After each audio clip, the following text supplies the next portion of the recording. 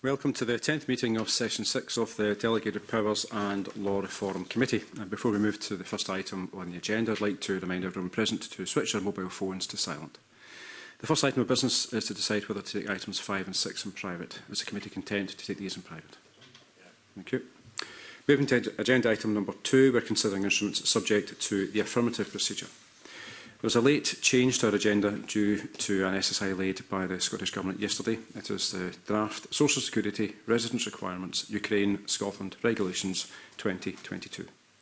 The Department for Work and Pensions intend to make emergency legislation shortly, which will include removing certain residence-based qualifying conditions to allow individuals coming from Ukraine to the UK to access the benefit system immediately upon arrival in the UK. This SSI has been laid to ensure a parity of access in Scotland for Ukraine citizens to benefit uh, for which Scottish ministers have responsibility. The Scottish Government is therefore seeking to have these changes come into force today.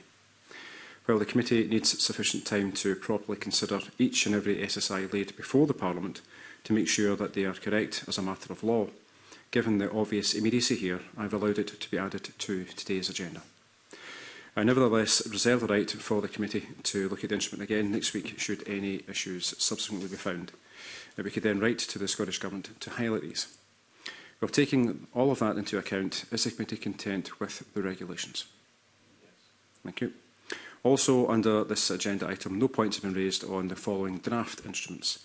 The Agriculture, Horticulture and Development Board Amendment Order 2022 the Local Heat and Energy Efficiency Strategies, Scotland Order 2022, the Rehabilitation of Offenders Act 1974, Exclusions and Exceptions, Scotland Amendment Order 2022, and the relayed Social Security Uprooting and Miscellaneous Amendment, Scotland Regulations 2022. Is the committee content with these instruments? Thank you. Under agenda item number three, we are considering instruments subject to the negative procedure. An issue has been raised on one of these instruments, which is SSI 2022-97. The Police Act 1997 Criminal Records Scotland Amendment Regulations 2022. The instrument is made under the Police Act 1997. It amends the Police Act 1997 Criminal Records Scotland Regulations 2010, which makes provision for enhanced disclosure with, suitable, sorry, with suitability information relating to children and adults.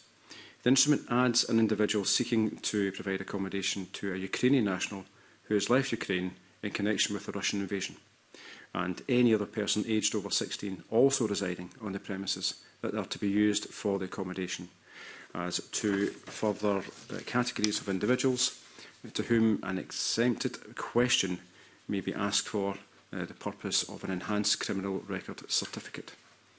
Under Section 28.2 of the Interpretation and Legislative Reform Scotland Act 2010, instruments subject to the negative procedure are required to be laid at least 28 days before they come into force, not counting recess periods of more than four days.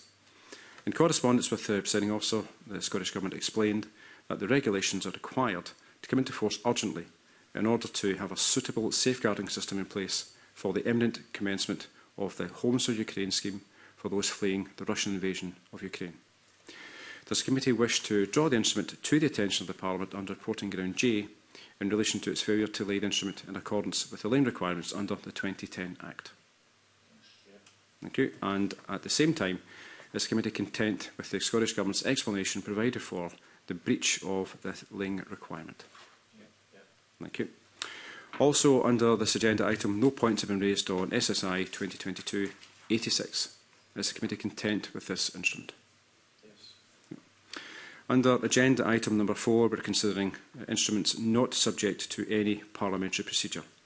No points have been raised on SSIs 2022, 82, 92 and 99. Is committee content with these instruments? Yeah. Thank you. And with that, I'll move the committee into private. Thank you.